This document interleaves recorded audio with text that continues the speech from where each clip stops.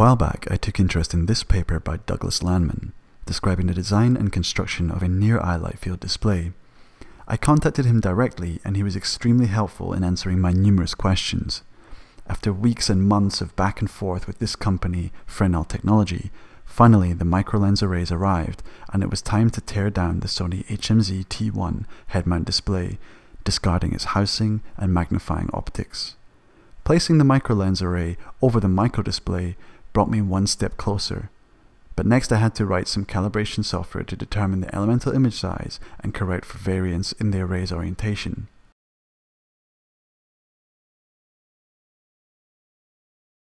As you can see here, the calibration software produces a 3D crosshair with red, green and blue targets.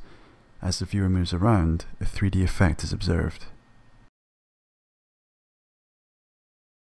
After this, it was time to write the light field renderers. I wrote two using rasterization and one a real-time path tracer. One day I hope to place the displays in proper housing with the head tracker and experience a real-time bidirectional light field path tracer. Thank you for watching.